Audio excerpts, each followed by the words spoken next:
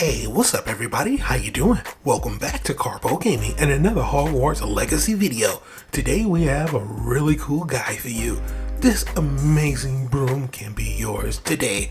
That's right, it is all from this shop. Today I'll show you exactly where you need to go in order to pick up the Aeromancer broom today. Let's go! Once again, thanks for watching everybody. Without further ado, ladies and gentlemen, let's get started.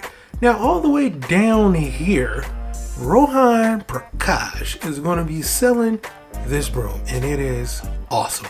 If you are a collector like me, this is definitely one that you want to pick up. Now, where exactly is this? We're all the way down at the Marunweem Lake area. Now, this is almost all the way due south. It is quite a trek all the way from Hogwarts Castle, so you will need to make a trek over here.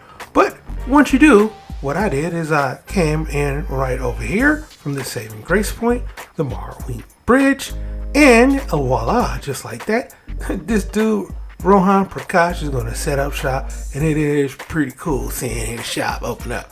At that, just talk to him, and you have the option to buy the broom or not. No question or anything like that, he's to sell it, but it will set you back for 3,000 of those silver. Now, the Aeromancer broom looks pretty freaking phenomenal. You're a collector like me, this is definitely one that you definitely want to pick up for sure. So there it is, the Aeromancer bro. Pretty cool, am I right? But for right now, that's pretty much going for the video. I hope you truly enjoyed it. As always, if you are new to the channel, how you doing and welcome. don't forget to subscribe right here at Karpo Gamer. Upload a wide variety of videos ranging from updates, tips and tricks, guides and news, and a whole lot more. So hopefully you enjoyed this video. Once again, thank you everybody for all your love and support. And as always, I'll be seeing y'all in the next one later.